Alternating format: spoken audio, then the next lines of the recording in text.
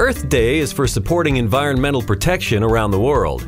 Here are a few celebrities that are doing their part. Our list kicks off with Jessica Alba.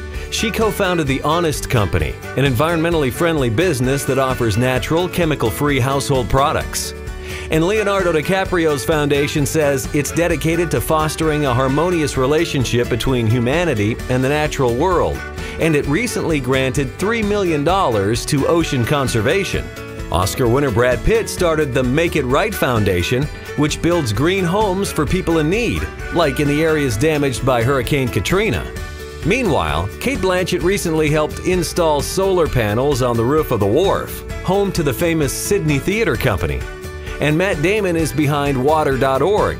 He recently teamed up with CamelBak to launch an eco friendly water bottle, with $10 from each sale going back to his foundation to help provide safe drinking water in developing countries. So take inspiration from these celebs and remember to do something green on Earth Day and every day.